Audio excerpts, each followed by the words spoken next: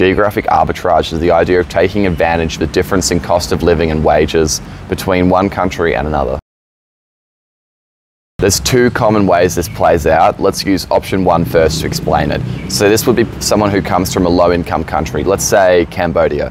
This person moves to Australia and works the fruit picker. They live there indefinitely and work and earn money in Australia where wages are far higher than in Cambodia. Option two, and the one more relevant to us, is nomads, offshore retirees, all these different people who move over to say Southeast Asia from the West and take advantage of the much lower cost of living here. Geographic arbitrage is incredibly powerful when it comes to earning yourself financial freedom, whether you're looking to retire or save up money as a nomad. Geographic arbitrage makes it a lot, lot easier. To live my lifestyle in Australia with, you know, eating out every meal as I do here and going out for coffees here and there and traveling maybe once a month for the weekend, going away on trips, it would cost me thousands and thousands of dollars. And believe me when I say that, seriously, my monthly living expenses would be five to 10 grand or something like that.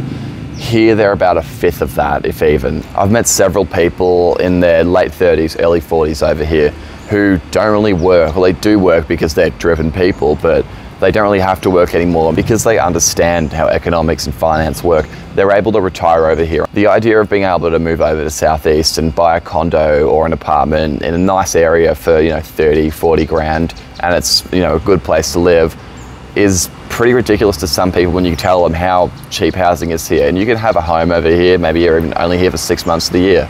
There's plenty of people who come here for maybe say six months over their winter in the West, wherever they're from, and they hang out here. They spend more money than they would back in the West, or they spend less money, but they buy more things and do more stuff. They go out traveling, they do things on the weekend, they invest in their health and their fitness because over here you can afford to do that. And this is something that a lot of people don't think about. You know, even if you can't come over here full time, you can still spend part of your time here. And that's another thing that you should consider. I guess I might not have been clear enough onto what the actual ins and outs of geographic arbitrage is, but really short, what this looks like is say if you've got your wages in Australia and they're $30 an hour working in a restaurant and they're a dollar an hour equivalent here, and then you've got accommodation which might be $600 a week in Australia and it's $300 a month here.